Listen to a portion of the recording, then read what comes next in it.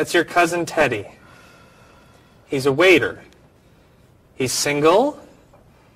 And he likes rock music. It's my brother, Eddie. He's a doctor. He's got a wife and two kids, and he likes classical music. How about this one? I don't know. A cousin? No. Your brother? No! An uncle? It's my Aunt Judy. Sorry, Mrs. Morris. She looks like your uncle. Tell me something about her. She's an architect. Artist. Married. Divorced. Two kids. Three kids. Four ki- Five kids? No kids. Only eight more. Here's an easy. I don't know. It's my father. I know who your father is.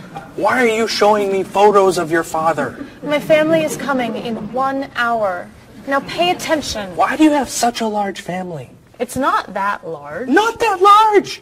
You have six brothers and sisters, 14 aunts and uncles. Who knows how many cousins, nieces, and nephews? I'd say that's a large family.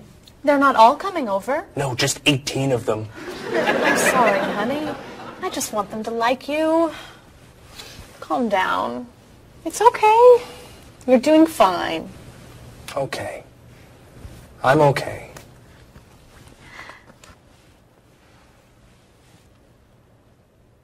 Your cousin John? Oh!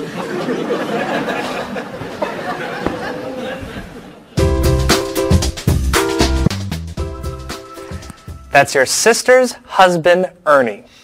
They live on Park Street. Two kids. Elizabeth is 12 years old and Katie is 8. Ernie's an architect. He likes baseball, basketball, and the movies. Wow. One more.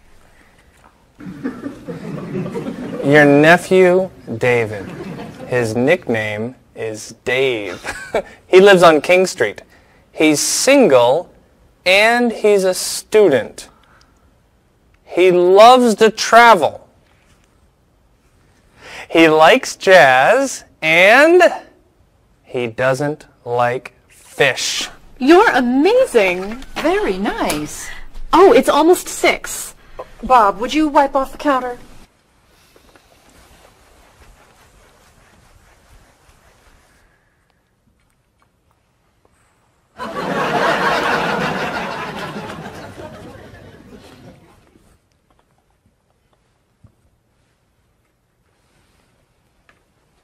I'll be in the bathroom for a while.